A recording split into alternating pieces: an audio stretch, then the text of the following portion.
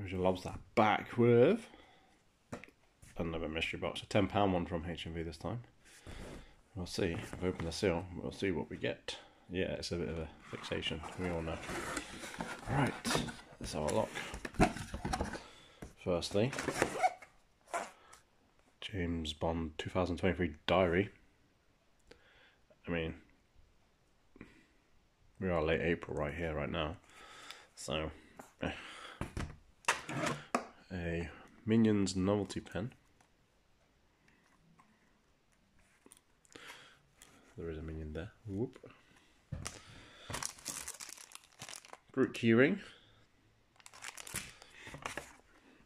A win Wandering Winter Wonderland. Eh? Alice in Wonderland.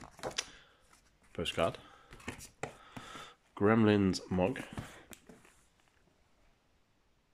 Heat reveal mug as well. And then a Pac-Man weekly calendar thing with to-do lists and such. So desk planner. Yeah, that's been a ten pound mystery box from HMV. Yeah, good.